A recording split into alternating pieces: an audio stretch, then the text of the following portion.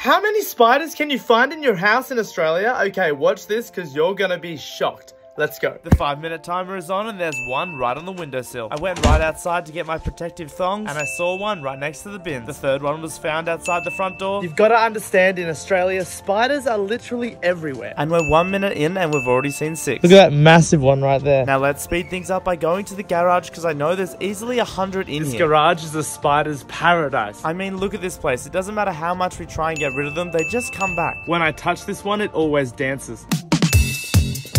What? This top corner had a really nasty one, and this one that I found had legit fangs. Okay, that's deadly for sure. It looks like there's nothing here, but there's a massive web. I wonder if a possum still lives under my house. It's been a whole year since I've checked on him, and you would not believe your eyes. Oh my gosh, he's still there. If I had a dollar for every spider in our house, I'd be rich.